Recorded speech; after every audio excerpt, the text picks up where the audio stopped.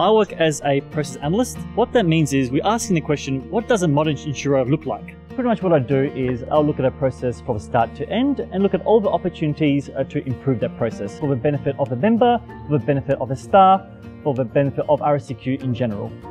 I have been working from home due to the coronavirus.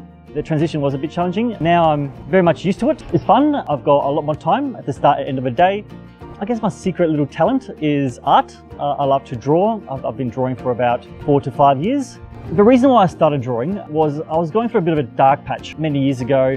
With art, you really concentrate on every stroke, on every piece of shading, and it really took my mind off the negativity into the positivity. It has been very, very rewarding.